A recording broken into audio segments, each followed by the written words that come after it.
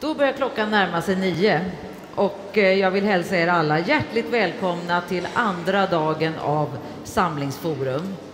Det kom ett e-brev igår till Ingela eh, Schäf Holmberg från Örjan Molander från Kalmars museum och han låter hälsa att gasen han pratade om, den heter Vikane. Vikane och han hälsar så mycket till er allihopa. Och nu vill jag bara göra lite reklam här.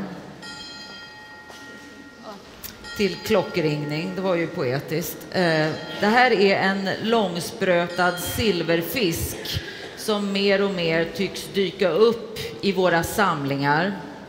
Och eh, 2019 så kommer Riksantikvarieämbetet tillsammans med Naturhistoriska riksmuseet, Riksarkivet och Nationalmuseum och skadedjursgruppen Premal att anordna en internationell konferens om samordnad skadedjurskontroll.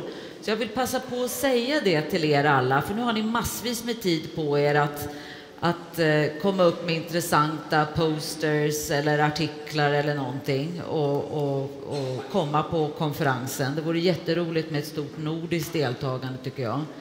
Eh, allt kommer att vara på engelska förstås.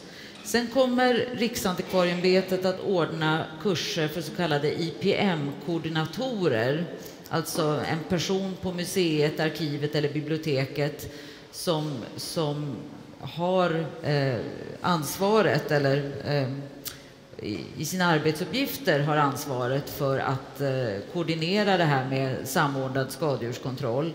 Det kommer att vara en kurs i Göteborg och en i Stockholm om jag förstått det hela rätt. Så håll ögonen öppna på kulturvårdsforum och andra fora för, för annonsering om den här kursen, om ni är intresserade.